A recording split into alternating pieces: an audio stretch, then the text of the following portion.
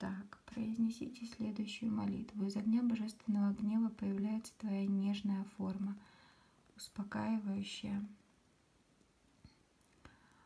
бушующие волны эмоций и беспокойные колебания разума. Успокаиваясь под твоим яростно-сострадательным нежным взглядом, я нахожу спокойствие, доброту и покой. В этот вечный момент с тобой я больше не боюсь Бадра Кали, Раджа Кали и Шьяма Кали. Сердце мое смягчается, когда я осознаю твою щедрость и твою сладость.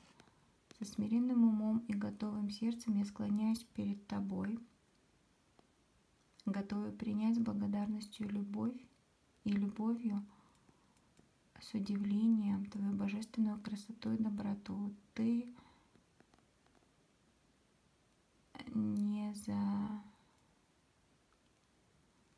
незаписанное творчество благородных и непреклонных божественных деяний для величайшего блага нас всех неописуемое творчество благородных и непреклонных божественных деяний для величайшего блага нас, э, блага из всех.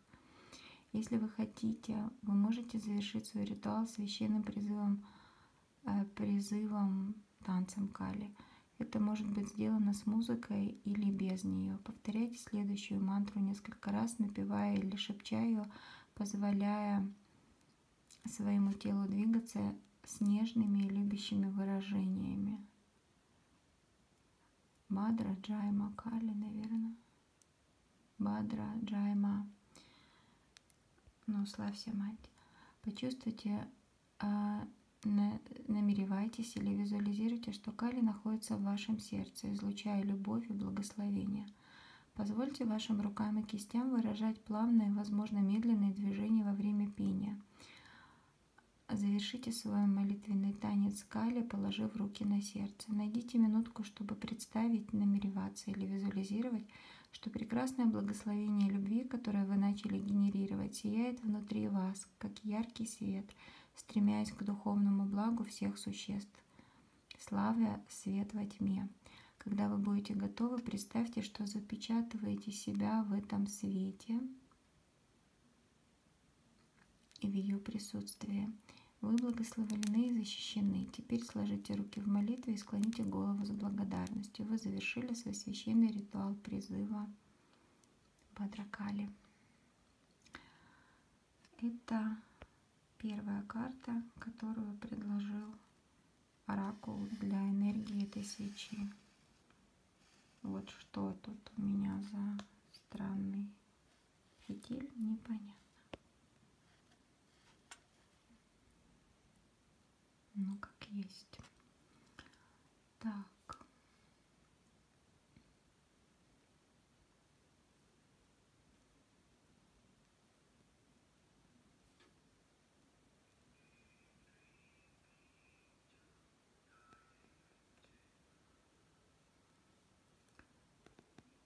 Смотрим следующую карту.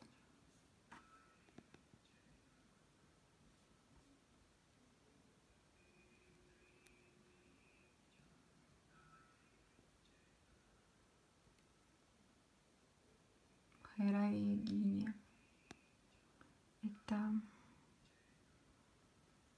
тут так много света, что не видно. Это не видно будет. Сейчас разгорится огонь, я покажу.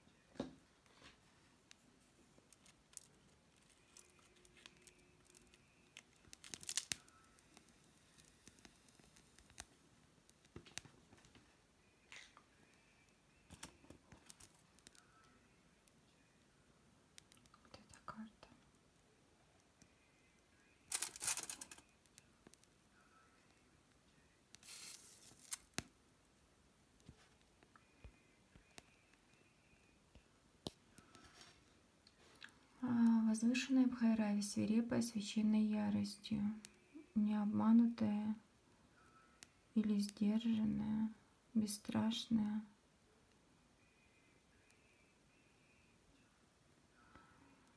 А часто считают, что она заставляет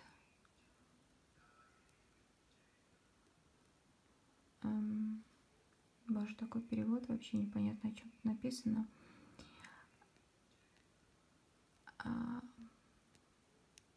Она э, обеспечивает божественную защиту. Я не поняла, что достойно души и куда надо бежать.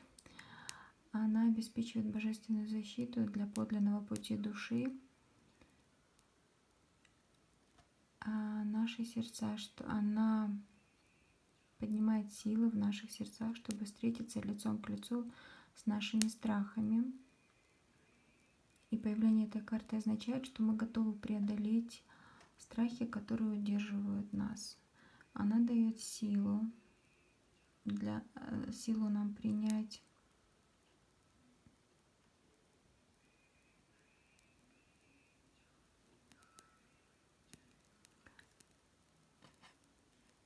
а, принять и осознать силу намного превосходящую ограниченные действия эго. Мы можем посвятить себя облегчению страданий, которые мы видим в мире, если это то, что движет нашим сердцем. Тем не менее, мы также можем укрыться от разочарования масштабов а, нашей задачи, потому что мы признаем божественное величие и способность а, э, наше божественное величие и способность. Титулованный ум молодой души может неверно истолковать такое великолепие, как оправдание апатии. Вот почему она должна внушать страх таким умам. Страх Боже, необходимый внутренний рост пока. Но тут я не согласна с этим. Страх должен существовать до тех пор, пока мы не почувствуем, для того, чтобы стимулировать внутренний рост, пока вот этой внутри любви вселенской не станет достаточно, чтобы мотивировать наши сердца.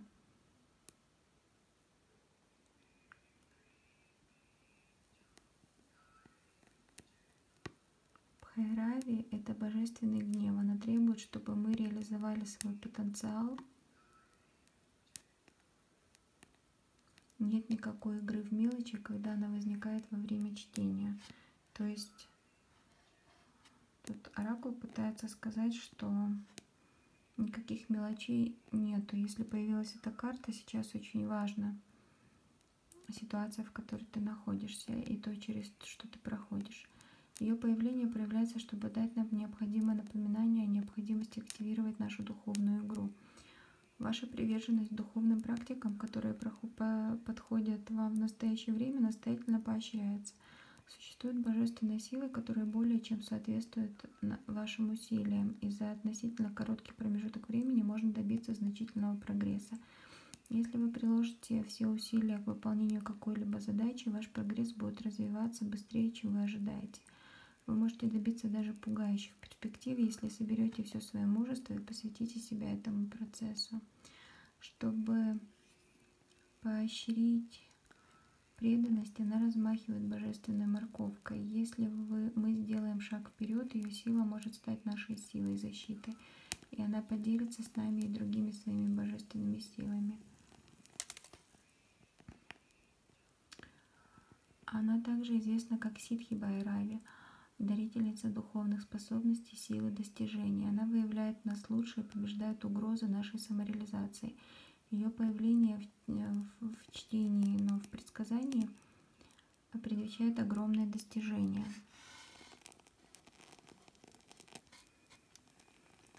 Хотя она может показаться совершенно пугающей в этом, но она просит вас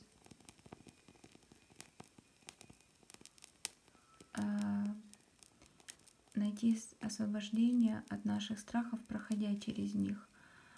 Она несет благо, ну, она благотворна, она несет благодать, она свет священного огня и высшего осознания. Или теджас. Я на ходу перевожу, поэтому я так торможу. а она теджас на санскрите. Это свет, который обеспечивает ясность, способность к развлечению. Не имеет доступа к этому свету, то есть к возможности различать. Это, кстати, одно из правил лайтвокеров. Развлечения. Не имея доступа к этому свету, эго неверно истолковывает руководство в соответствии со своими собственными целями и создает путаницу. Ее свет помогает нам увидеть и преодолеть саморазрушение эго и вместо этого настроиться на подлинную мудрость.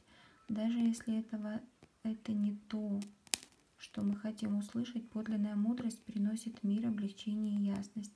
Это создает движение вперед на нашем подлинном пути. По его эффекту, это, мож, это можно узнать по его эффекту. Тепло огня также представляет собой способность быть приготовленным, преобразованным, созревшим, доведенным до полного завершения.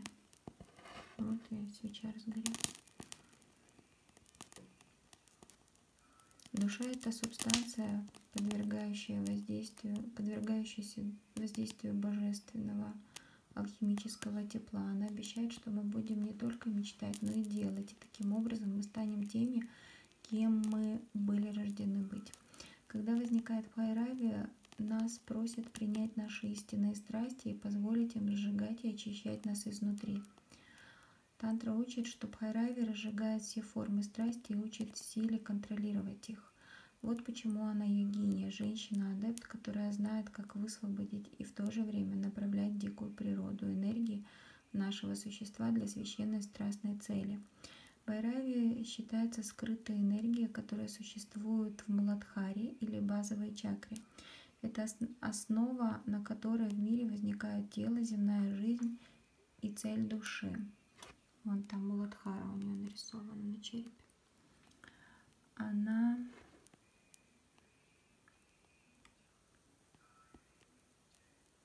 она берет что-то пропустит она ведет к а, она берет начало в наших мечтах. А так.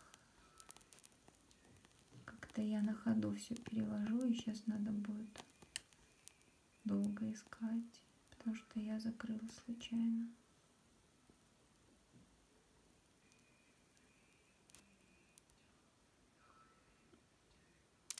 и неизвестно, когда найду.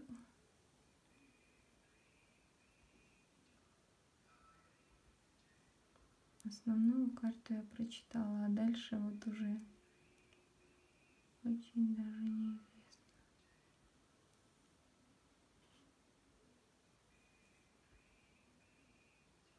Может достаточно читать, может я не зря закрыла. Ну, в общем, здесь вот Байрай.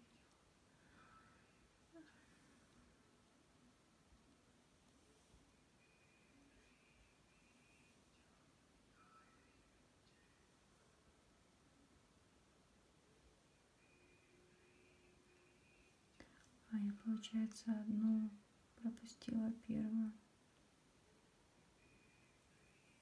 Возвышенная по Ираве, свирепая священной яростью. Нет, читал.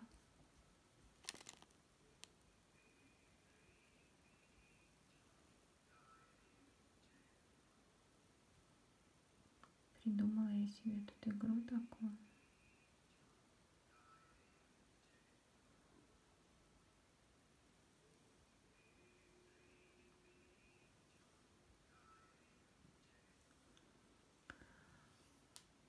Она берет уверенностью и преданностью своим мечтам. Вот, Муладхара. Ух ты, боже мой, у меня второй фитиль тут чудеса выдает.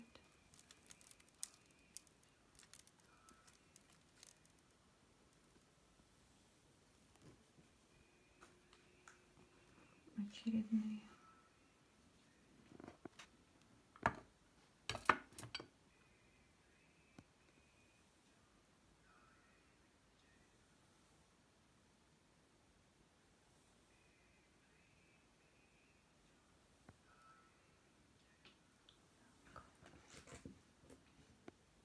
Там отжигается.